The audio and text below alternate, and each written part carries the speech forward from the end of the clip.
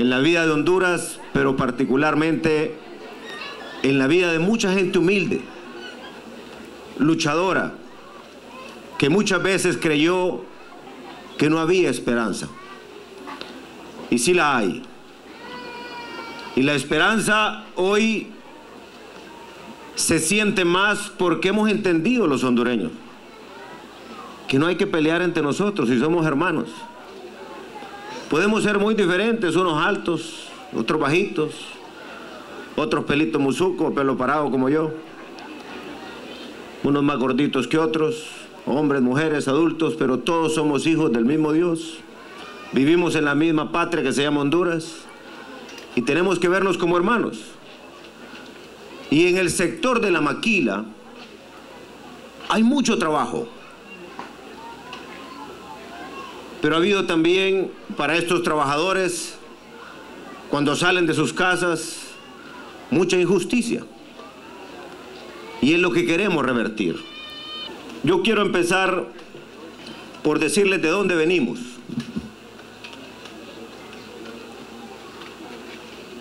Hemos tenido serios problemas en el país porque fíjense que mucha gente humilde y luchadora se quedó pensando que no era posible lograr una vivienda. Y ese es uno de los derechos fundamentales con los que nace un ser humano. Debe de tener techo, pero no cualquier techo. Debe tener una vivienda digna, decente. Ayer estuve en La Masica y en Tela entregando una cantidad de viviendas para la gente que no tiene ingreso, pero también ayudándole a mucha gente a cambiarle su piso de tierra por por lo menos piso de cemento, arreglarle su techo. Hay muchas familias en las ciudades inclusive que no tienen letrina, fíjese usted.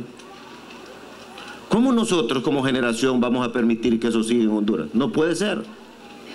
Pero por sobre todo, es tener la dignidad de que usted está en su propia casa y que va a estar pagando lo que va a ser suyo y que le va a heredar a sus hijos algo seguro.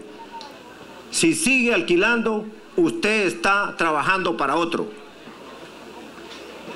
Hay que tener esa visión.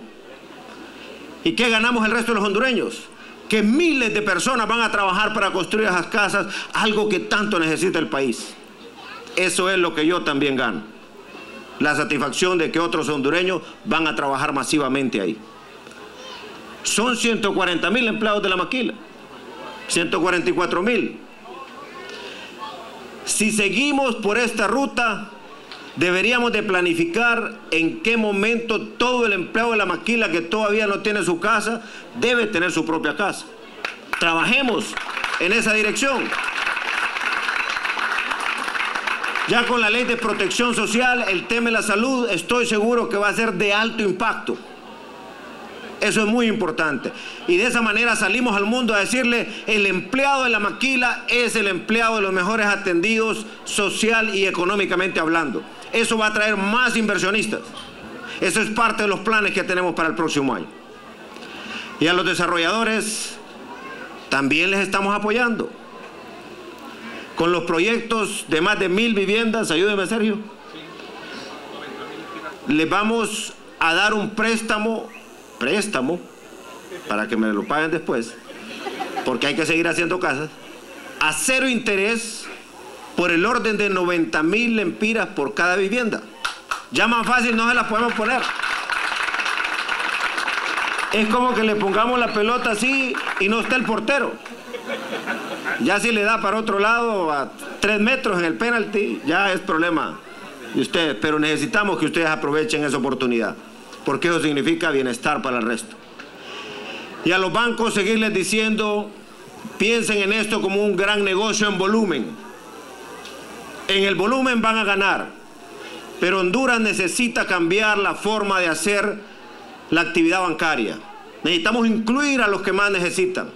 Esa gente paga, yo le he visto con el programa que se llama Banca Solidaria, que también lo vamos a acercar a las maquilas. El valor de la vivienda, 300 mil empiras. La prima son 15 mil empiras. Yo quiero agradecer a las empresas maquiladoras de antemano, públicamente. Y Evangelina cuando vaya ocurriendo eso, le voy a pedir que me vaya dando el nombre y cada vez que pueda los voy a mencionar.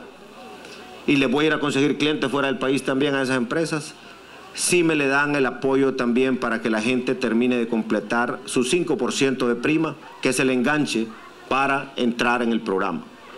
El subsidio es, o sea que el 5% de la prima serían 15 mil empiras.